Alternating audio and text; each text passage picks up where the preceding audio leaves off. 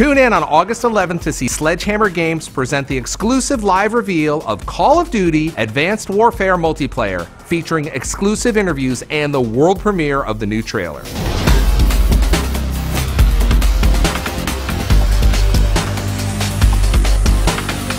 Yeah.